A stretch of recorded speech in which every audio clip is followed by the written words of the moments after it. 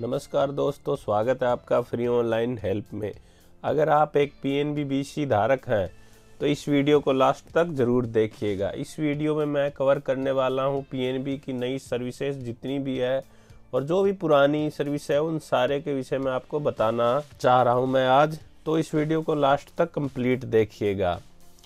जैसा कि आप लोग जानते हैं कि पीएनबी बैंक के अंदर ओरिएंटल बैंक ऑफ़ कॉमर्स और United Bank of India merge हो गई है तो उसके बाद थोड़ी बहुत चेंजिंग है, कुछ बेनिफिट है, जिसका मैं आज आपको बताऊँगा। तो वीडियो को ज़रूर देखिएगा। सबसे पहले जो आपका लॉगिन करने के बाद में ऑप्शन आता है, वो आता है ट्रांजेक्शन का। तो जैसे हम ट्रांजेक्शन पे क्लिक करते हैं, सबसे पहले आता है A E P S services यानी आधार इनेबल्ड पेमेंट सिस्टम। तो इसमें आप कस्टमर का अंगूठा लगवा के और balance inquiry, cash deposit, cash deposit, cash withdrawal, fund transfer और मिनी स्टेटमेंट चेक कर सकते हैं। तो अगर कस्टमर का आपको बैलेंस चेक करना है तो आपको बैलेंस इंक्वायरी पे क्लिक करना होगा। फिर यहाँ पे आपको कस्टमर का आधार नंबर लगाना होगा। और यहाँ पे इस पर टिक करके और यहाँ पर बैंक सेलेक्ट करना होगा। आप सब, लगभग सभी बैंकों का ट्रांजैक्शन आप यहाँ से चेक कर सकते हैं। फिर आपको गेट बैलेंस पे क्लिक करना होगा और कस्टमर का फिंगरप्रिंट लगा के आप उसके बैलेंस इंक्वायरी कर सकते हैं। सेम सिस्टम ऐसे यहाँ पे आपको देखिए कैश डिपॉजिट पे दिया हुआ है। जैसे ही आप कैश डिपॉजिट करोगे, यहाँ पे आ जाएगा आधार नंबर, यहाँ पर कितना अमाउंट जमा करना है वो डालना है आपको। यहाँ पे जो नोटों की संख्या है वो डालनी और कंफर्म डिपॉजिट कर देना है। कैश डिपॉजिट सर्विस सिर्फ़ आप पीएनबी बैंक का कर सकते हो। और फिर आ गया ये कैश विड्रॉल का। कैश विड्रॉल आप किसी भी बैंक से कस्टमर को रुपए निकाल के दे सकते हो। सेम यहाँ पे आधार नंबर डालना है, यहाँ पे आई हेयर बाई पे क्लिक करना है और यहाँ पे जितना अमाउंट निकालना है उस हिसाब से भर के कन्फर्म विड्रॉल पर क्लिक करना है।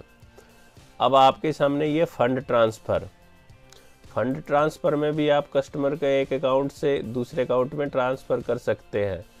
तो यहाँ जैसे जिस कस्टमर के अकाउंट से आपको रुपए निकालना है, उसका यहाँ पे आधार नंबर डालना है। और यहाँ पे आई हेयर बाई पे चेक करना है। ध्यान रहे, आप जो है, सिर्फ़ पंजाब नेशनल बैंक के कस्टमर के अकाउंट से ही रुपए निकाल के और अदर किसी भी बैंक के कस्टमर के अकाउंट में ट्रांसफ़र कर सकते हैं। तो दूसरे कस्टमर का भी यहाँ पे आपको आधार कार्ड लगाना है।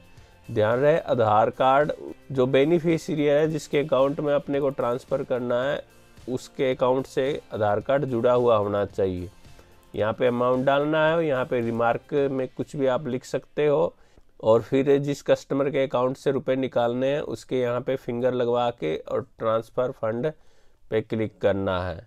फिर यहाँ पे देखिए मिनी स्टेटमेंट का ऑप्शन है। यहाँ पे कस्टमर का अकाउंट सॉरी कस्टमर का जो आधार नंबर लगा के कस्टमर के अकाउंट का आप मिनी स्टेटमेंट देख सकते हैं किसी भी बैंक का। तो अगर आप ये सर्विस यूज़ करते हैं तो कमेंट ज़रूर करें कि आप किस किस बैंक का मिनी स्टेटमेंट निकालते हैं।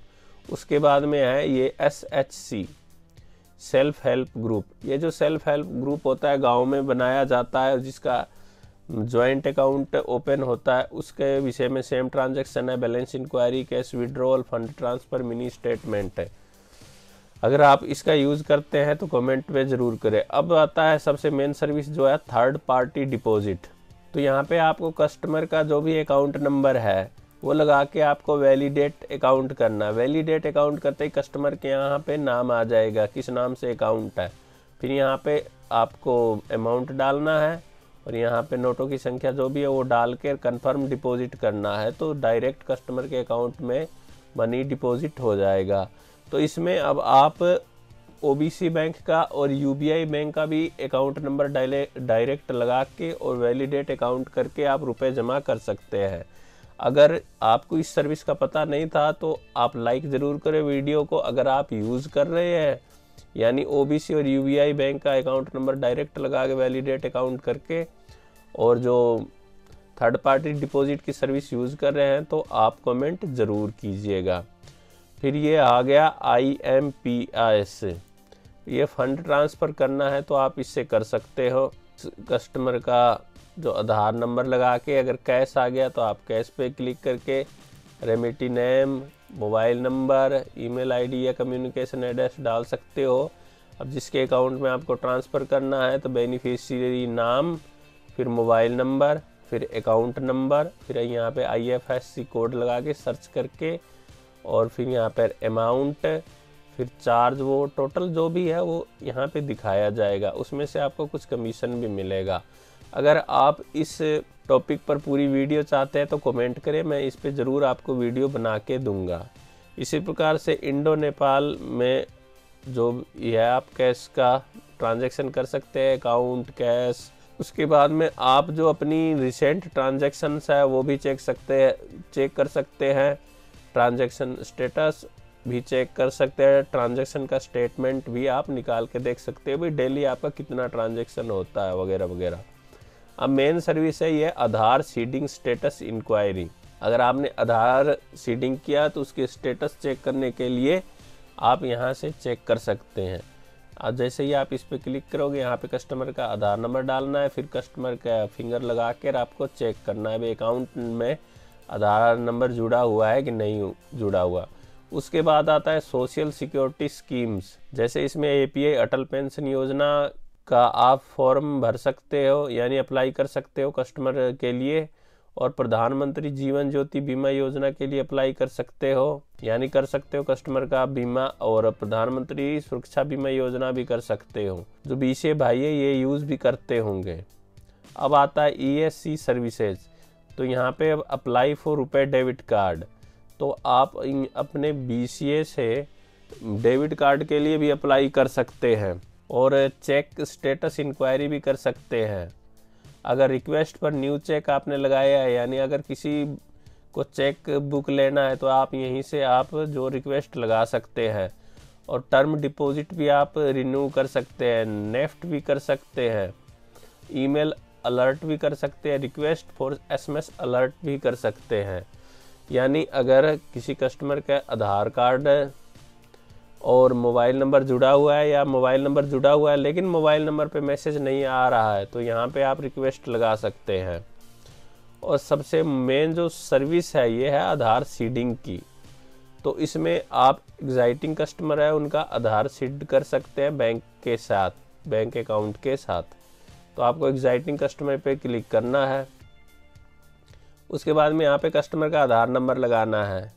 फिर आपको प्रोसीड पे क्लिक करना है। फिर कस्टमर का अकाउंट नंबर डालना है और फिर कस्टमर का फिंगर लगा कर आपको सीडिंग कर देनी है। सीडिंग करने के लिए आपको दो बातें ध्यान में रखनी होगी।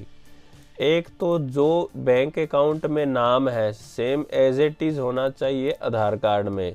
दूसरा, जो बैंक अकाउंट में डेट ऑफ़ बर्थ है सेम आधार कार्ड में डेट ऑफ़ बर्थ होनी चाहिए। अगर ये दोनों मैच कर रहे हैं तो आप सीडिंग कर सकते हैं आधार कार्ड की।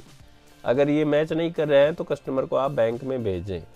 उसके बाद में यह है इनरोलमेंट्स तो इसमें आप आरडी कर सकते हैं एफडी कर सकते हैं। आरडी एफडी आप कर सकते हैं, अपने यहाँ से इसका भी आपको कमीशन मिलेगा। फिर उसके बाद में आता है अकाउंट ओपनिंग थ्रू ई के वाई तो अब यहाँ से आप जो है कस्टमर का अकाउंट खोल सकते हैं। दस साल से लेके और कितने भी ज़्यादा उम्र के हैं, उस व्यक्ति का आप अकाउंट खोल सकते हैं।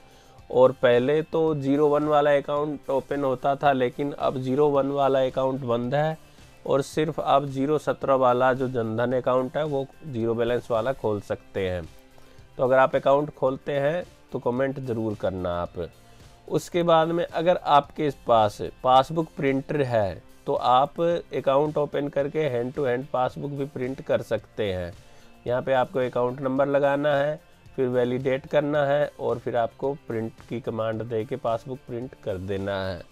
उसके बाद में ये सर्विस है इनरोलमेंट स्टेटस इंक्वायरी इनरोलमेंट यानी जो आपने आरडी किया है एफडी किया है अकाउंट ओपन किया है और या फिर प्रधानमंत्री जीवन ज्योति बीमा योजना, जो भी आपने सर्विस में रजिस्ट्रेशन किया है, उसको चेक करने के लिए आपको इनरोलमेंट स्टेटस इंक्वायरी है। इस सर्विस में जाना होगा। इस पर क्लिक करते ही आपको इनरोलमेंट टाइप है। इसमें ई के वाई सी अगर आपने अकाउंट ओपनिंग किया है तो ई के वाई सी सेलेक्ट करना है। और यहाँ पे अगर आपके पास ए ओ एफ़ नंबर है तो वो सेलेक्ट करके यहाँ पे पेस्ट करके सबमिट कर सकते हैं। अगर ए ओ एफ़ नंबर नहीं है, अब डेट रेंज है आपने कितनी तारीख से कितनी तारीख के बीच में जो अकाउंट ओपन किया है, वो सेलेक्ट करके और आप देख सकते हैं। फिर उसके बाद में ऐसे ही R D F D A P I P M J J B Y P M S B I इन सारों का आप इनरोलमेंट स्टेटस चेक कर सकते हैं। उसके बाद में ये बिल पे है, इसमें भी है पे बिल्स का ऑप्शन है, लेकिन ये सर्विस ना मैं यूज़ करता हूँ, ना मैं आपको बोलूँगा यूज़ करने के लिए। अब ये जो एक्टिवेट सब बी सी ए है, ये ऑप्शन आए हुए तो काफ़ी दिन हो गए, लेकिन अभी मैंने अधिकारियों से बात की है, लेकिन उनका कोई भी जवाब नहीं आ रहा है। ये सर्विस कब तक स्टार्ट होगी? तो पता नहीं है, जब भी स्टार्ट होगी तो मैं आपको ज़रूर वीडियो के द्वारा इन्फॉर्म करूँगा। अगर आप में से किसी भाई की ये सब बी सी एक्टिवेट हुई है तो आप कमेंट ज़रूर करें। तो यही सारी सर्विसेज़ हैं, जो आप P N B B C A से यूज़ कर सकते हो और अच्छे खासा कमीशन कमा सकते हो।